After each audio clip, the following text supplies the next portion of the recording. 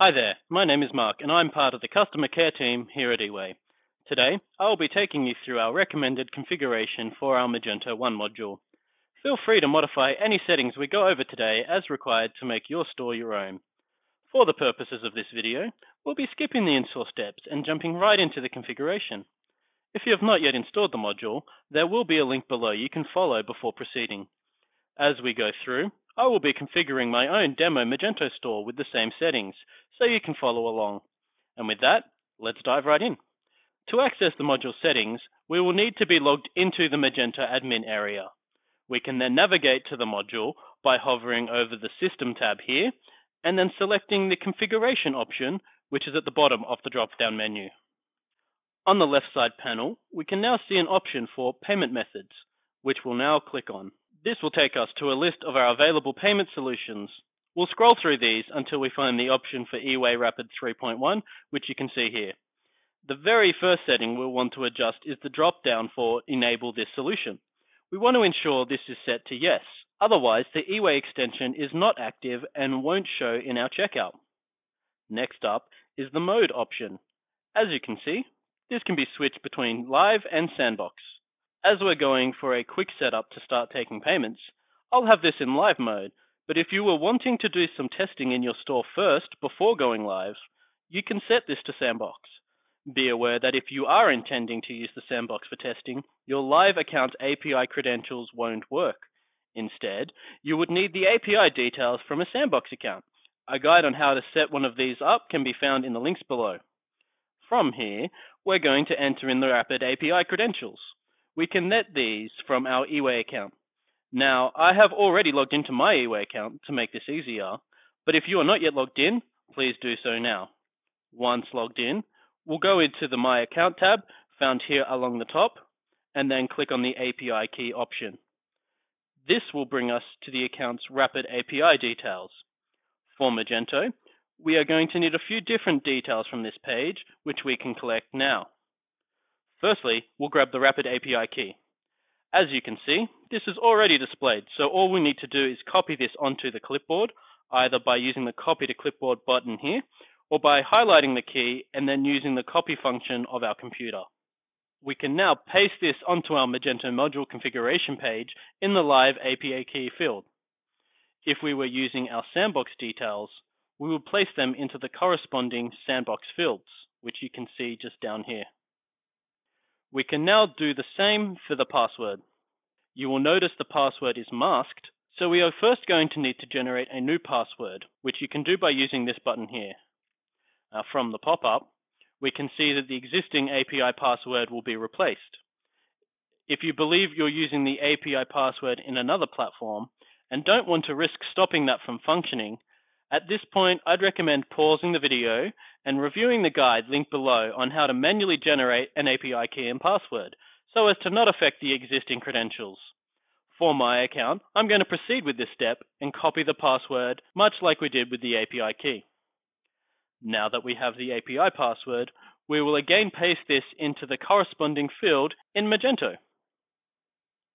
Now, moving back to the eWay account, we'll next copy the client-side encryption key and once more, just paste that back into Magento. Now, lastly, we're going to grab the Pay Now button public API key, also known simply as the public API key. Once more, we just paste that into Magento. We've now gathered the required API credentials. These credentials we've just entered will tell eWay which account to process payments through when your store submits them. Now, we'll move on to the basic settings section. As you can see, we can choose the payment action, which we'll set to authorize and capture.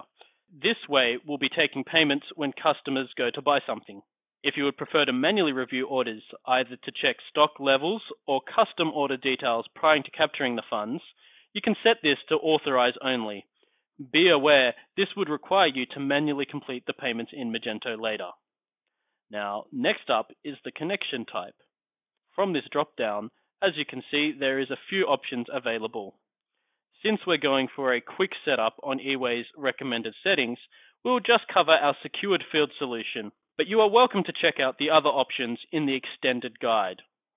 Secured Fields keeps the customers on your page, but allows the use of hosted eWay fields to capture the card data, meaning your customer's card information stays out of your environment. The next settings will dictate how the secure fields behave in our checkout. We will set the autocomplete option to yes, which allows customers to use their browser's autofill capabilities and stored card details to speed up their own checkout time. We'll also set the masked values to yes, so that once the customer has entered their details into the field, they will then be masked on the checkout page. Moving on, we can see the customer's settings section. As this is a quick setup guide, we'll just leave these values on their default settings.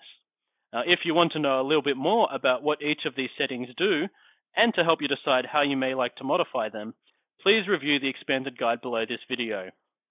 We will do the same now for the advanced settings section, with the exception of the debug option, which is found at the bottom of the advanced settings section. We will ensure that this option is set to yes.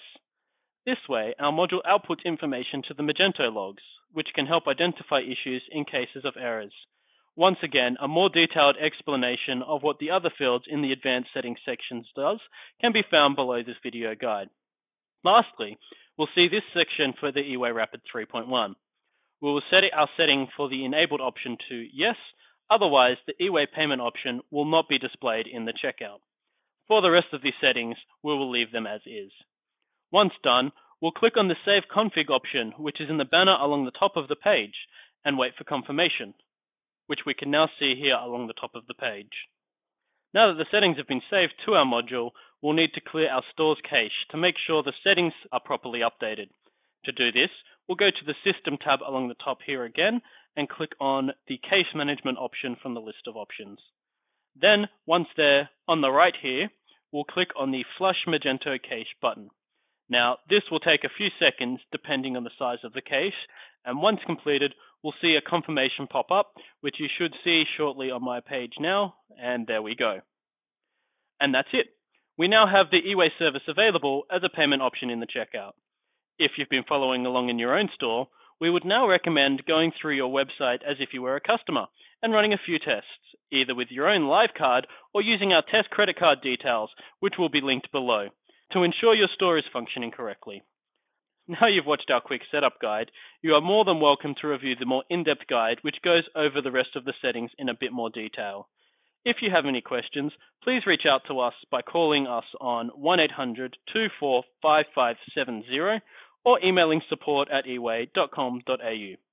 Now that's all for this video, but feel free to check out our other guides in the eWay knowledge base found at go.eway.io.